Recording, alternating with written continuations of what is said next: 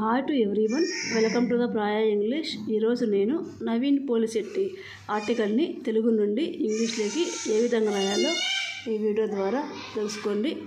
ముందుగా మనము హెడ్డింగ్స్ని ఇంగ్లీష్లోకి ఎలా రాయాలో చూద్దాం. పదో తరగతి దాకా రెండే సినిమాలు చూసా.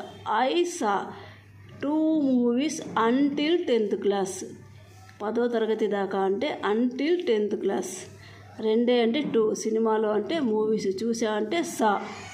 అదే మొదటి cinema. That was the first film. అదే అంటే దట్ వాజ్. మొదటి అంటే ఫస్ట్. సినిమా అంటే మూవీ. లండన్లో ఉద్యోగము. Job in London. ఉద్యోగం అంటే జాబ్. లండన్లో అంటే ఇన్ లండన్. రెండే సినిమాలు టూ మూవీస్. రెండే అంటే టూ. సినిమాలు అంటే మూవీస్. మర్చిపోను. Will not forget.